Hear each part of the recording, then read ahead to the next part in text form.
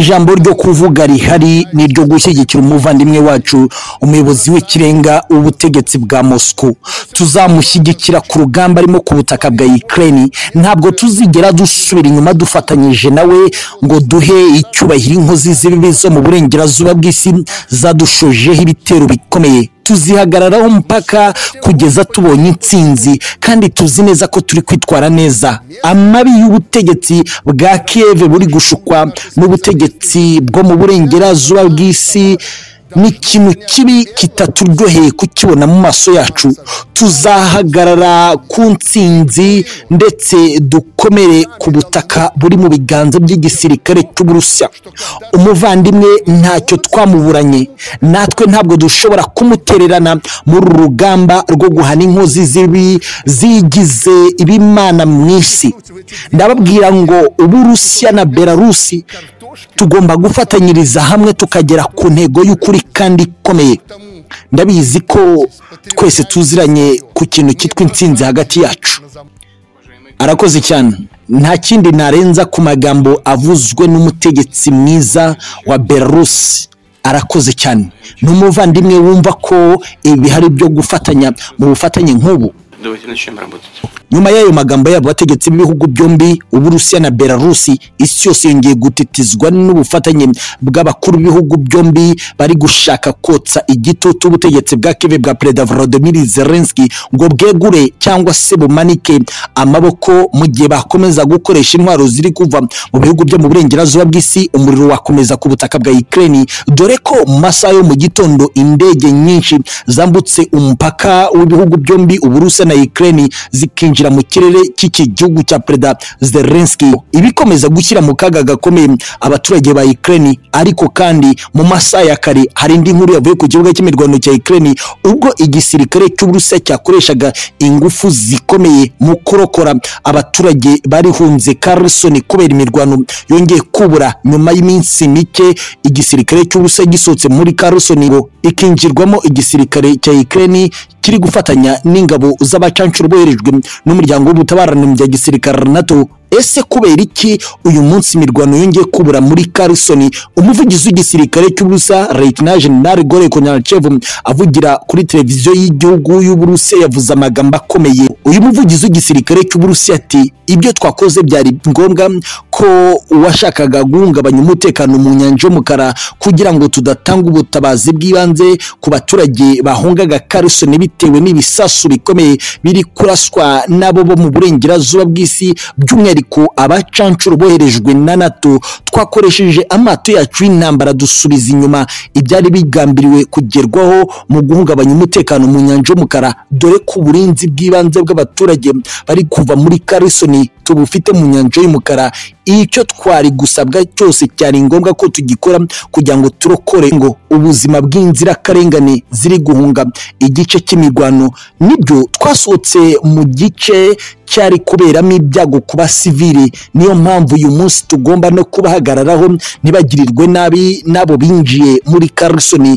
Ubutaka bwose buracyagenzurwa mu bice byiza ku buryo abaturage baza hari amahoro ku buryo ari twe bahungiraho. Ntabwo bashobora kwerekeza mu bice by'uburengerazuba bwa karusoni kubera ko bazi ko abicanyi bari kwinjira muri karusoni mu gihe nkatwe abagiraneza igisirikare cyumva uburenganzira bwa kiremwamuntu turi hakuno mu birometero bikabakaba ijana na mirongo itandatu n'icyenda. Ni byinshi cyane bikomeye ku ngingo zitandukanye ku mutekano politiki na diporomasi mu rwego mpuzamahanga.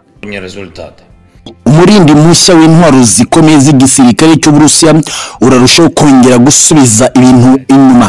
Twari dutangiye gutera imbere mu buryo bwo kwisubiza bimwe mu bice byari byaragiye mu biganza by'umwanzi wacu Vladimir Putin.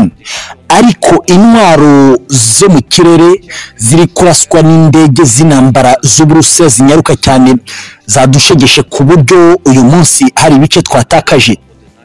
Gusa ibyo twasabye abakomando bayoboye amabatari yose ari ku mirongo y'imbere y'urugamba ni ugukoresha ibikomeye mu kurwana inkundura kuko ntabwo twakwifuza kongera kubona ibice byacu by'ubutaka bwa Ukraine bisubira mu biganza by'abarusiya. Perezida vladimir putin umwicanyi mubi nta kindi agamije nk'uko ashaka ko duhora mu bihe bibi nk'ibi turimo.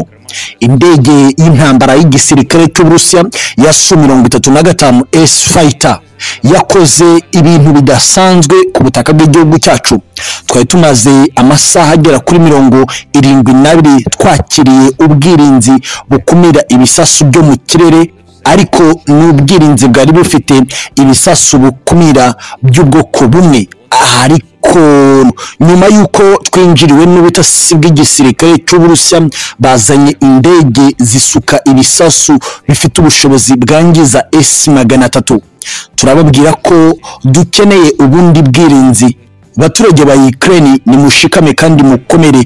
Tuzi neza ko ubundi bwirinzi turaza kwakira buva mu gihugu cy'ubudage bwa IRIS-T buraza kudufasha kwihagararaho mu gukumira ibisasu biri kujugunywa n'indege z'intambara z'igisirikare cy'Uburusiya intambwe ku yindi umunsi ku wundi abanya Ukraine ntidushobora gusubira inyuma bitewe n'ibyo ingabo z'Uburusiya ziri kwinjiza mu kirere no ku butaka bwacu kubw'impamvu y'uko twabonye amabi y'igisirikare cy'ubusa mu bice bamazemo igihe kirekire ibyo ni byo tugomba gukumira ngo bitongera gusubira ku butaka bw'abanya-Ukraine. banya-Ukraine mwese nimushikame tumenye ko intsinzi iva mu biganza n'umutima wo kwihangana kw'abanya-Ukraine ubwabo ngo twatakambiye umuryango w'ibihugu bikize ku isi cumi n'icyenda nkuyemo uburusiya bw'abanzi. Ngo badufashe baduhe intwaro zigezweho mu kurinda ko igisirikare cy'uburusiya cyakongera kugira uruhare runini mu kugenzura igice kinini cy'ubutaka bwacu. Uyu munsi turacyategereje kandi twizeye neza ko ari n'abatazaduha inkunga mu bya gisirikare bazadufasha mu gushyira igitutu ku butegetsi bubi bwa Moscow mu guhagarika ibitero nk'ibi bikomeye biri kwibanda mu bice birimo abasivili. Muri keve yacu uyu munsi yongeye kuzamo iturika rihambaye ry'ibisasu by'indege z'intambara z'uburusiya za su vm makumyabiri na kane zajugunye ku masitasiyo ya esanse ibyo ni ibigaragaza ko ntabwo uburusiya bugambiriye guhangana n'igisirikare cyacu. Ahubwo uburusiya bugamije guhungabanya ubukungu umudendezo w'abenegihugu b'abanyayikireni niba bari kujugunya misile ahantu hatari ibigo bya gisirikare nta kindi bashaka ni ukubuza ituze abaturage ba Ukraine. Kandi nzi ko turaza guhangana n'ibi bibazo kugeza bibaye. Abaturage ba Ukraine nimwishimire indi nkuru y'uko haje amakimbirane no kutumvikana hagati y'ubutegetsi bwa Irani n'Uburusiya ku bijyanye na twa tudege tutagira abapilote. Ayo ni amakuru twizeye ari mu nzego zacu z'iperereza. Habaye ikibazo cy'uko ubukungu bw'uburusiya bwarindimutse ku buryo nta mafaranga bafite yo kwishyura igihugu cya Iran. Ibihugu byo mu isi namwe nimufata ayo makuru nk'ukuri mukomeze mushyire igitutu ku butegetsi bwa Seyid Ibrahim Raisi bwo kutarekura indege nk'izo ngizo.